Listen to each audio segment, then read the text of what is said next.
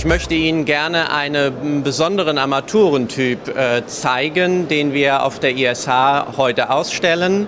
Und zwar sind das Armaturen für den Krankenhaus- und Pflegebereich. Wir haben hier die Besonderheit, dass wir die Ausläufe der Armaturen, wo sich die meiste Verkeimung bildet, herausnehmen können zum Desinfizieren. Einmal als Messingauslauf wechselbar, einmal als Einwegauslauf wegwerfbar und einmal als besondere Besonderheit mit einem integrierten Filter zum Herausfiltern jeglicher Keime aus dem Trinkwasser. Weiterhin ist es noch möglich, die Armatur komplett zu entnehmen vom Sockel und den gesamten Armaturenkörper in einer Desinfektionslösung zu desinfizieren.